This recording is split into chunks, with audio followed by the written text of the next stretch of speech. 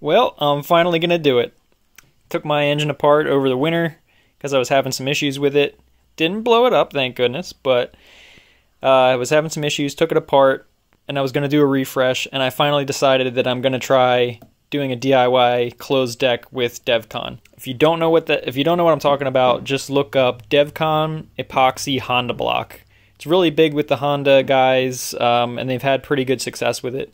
Um, from a lot of digging around, I haven't found many Subaru guys that have done this. I think I found two, and I don't th- the the guy that did it with a with a STI w, or WRX block, the semi-closed deck block. The guy who did it with that one, I don't think he ever ran the engine. He actually filled it in, but then he never ran it. And there's another guy that used an open deck block, and I think he ran the motor, but I never saw any results of it, if it was able to hold more power or not. So anyway, if you don't quite know what I'm talking about, uh, instead of being a sane human uh, and using your brain and actually buying an IAG or Outfront closed deck motor, what I'm going to do is use this aluminum epoxy and fill in these gaps. Obviously, you drill holes for the cool or for the uh, for coolant passages and for the case bolts. Um, you are going to fill it up to about about that. I'll probably go a little lower than that, make it a little thicker than what the stock uh, supports are yeah, yeah, I don't know. I'm basically just gonna send this motor until it blows up. So uh, we're just gonna see what the hell happens. I have no idea if this is gonna strengthen strengthen anything at all. I just want to try it. I just want to see what happens. I want to see if we can get this thing making 700 horsepower somewhat reliably and not blowing up. I mean, and uh, the internals that are going in it is uh, they're CP pistons that were in this motor uh, originally and then uh, Manley I-beam rods, uh, all with upgraded hardware. The piston, the pistons have upgraded wrist pins. I think that's about it. We're doing new bearings, obviously, so it's gonna have the recipe to make the power, or to hold the power, I should say, if this was a closed deck block. So we're gonna do this DIY method and see what the hell happens. See if we can make this thing hold some serious power.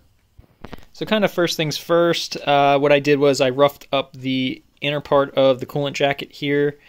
Uh, I just did that with sandpaper and a pair of scissors actually.